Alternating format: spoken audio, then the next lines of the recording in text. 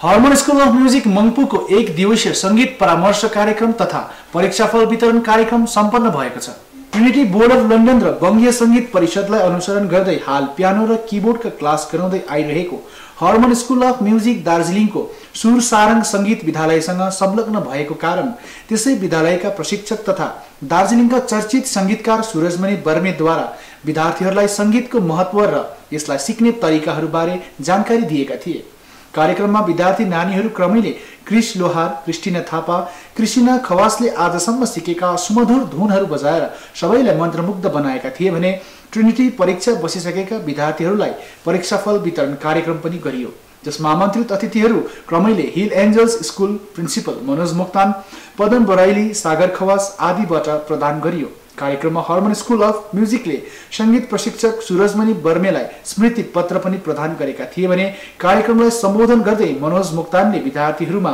सङ्गीतबाट पर्ने सकारात्मक प्रभावबारे बोल्दै आफूले पनि विद्यालयमा छैटौँ अतिरिक्त विषय सङ्गीत सिक्ने मनाशय प्रकट गरेका छन्। कार्यक्रममा हर्मन स्कुल अफ म्युजिकले सङ्गीत प्रशिक्षक सुरजमणि बर्मेलाई स्मृति पत्र पनि प्रदान गरेका थिए भने कार्यक्रमलाई सम्बोधन गर्दै मनोज मुक्तानले विद्यार्थीहरूमा सङ्गीतबाट पर्ने सकारात्मक प्रभावबारे बोल्दै आफूले पनि विद्यालयमा छैटौँ अतिरिक्त विषय सङ्गीत हाल्ने मनाशय प्रकट गरेका छन्। यसरी नै कार्यक्रमलाई पदम बराइली सागर खवास सलिना रामुदामुले पनि सम्बोधन गरेका थिए।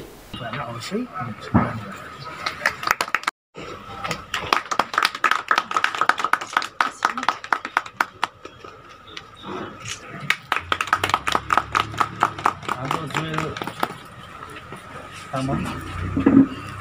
र यहाँको सबैभन्दा राम्रो अनि आज्ञाकारी भनेको सबै मान्ने है सबै कुरा गर्ने। क्लास पनि कन्टिन्यू आउने हाम्रो क्रिस्टिना खवास। अनि हाम्रो क्रिस भाइलाई पनि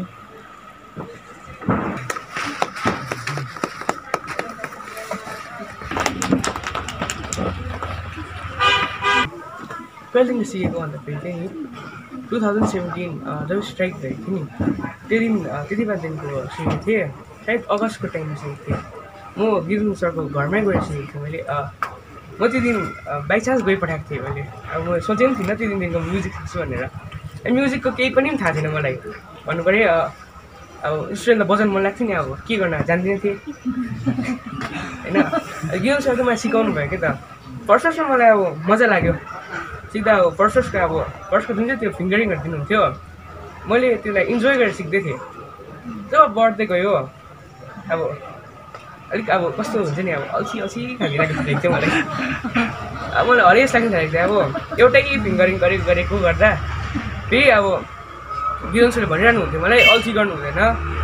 गर्नु मजाले गर्नुपर्छ भनेर भन्नुहुन्थ्यो। के गर्नु अब आफ्नो मनको अरे यस्तो लाग्थ्यो अब अब सिक्दै गएँ सिक्दै गएँ मैले अब मलाई थाहा पनि भएन म कति बजाउनु थालेको छु मैले त्यसलाई एनालाइज गर्नै सकेको थिइनँ रहेछु मैले त सबै याद थियो रहेछ नि तर एनालाइज गर्नै सकेको थिइनँ रहेछु जब मैले अनि मैले क्लासेस जोइन गरेँ अनि फर्स्ट टाइम दाज दासँग भेट्दाखेरि अब त्यस्तो केही थिएन। हजुर त्यस्तो तपाईँ मात्रै बट अब जब म म्युजिकमा अझै क्लासेस कन्टिन्यू आउँदै गएँ अनि सरले मलाई सिकाउनु भयो द्याट म्युजिक चाहिँ के हो भन्ने कुरा अनि मैले चाहिँ सोच्थेँ म्युजिक एउटा सब्जेक्ट मात्रै हो भन्ने लाग्थ्यो तर अहिले हेर्दाखेरि म्युजिक एउटा हाम्रो लाइफ स्टाइल जस्तै भइसकेको छ अनि यो म्युजिक चाहिँ किन सिक्न चाहन्छु भन्दाखेरि चाहिँ म्युजिकले मलाई जब म स्याड हुन्छु त्यति बेला म्युजिक बजाउँदाखेरि आज मेरो मनहरू अझ एकदमै अर्कै भएर जान्छ अनि म्युजिकले जुन रिलेसन मेरो म्युजिकसँग छ सायद म भनेर भन्नु पनि सक्दिनँ होला। एन्ड म्युजिकले मलाई जुन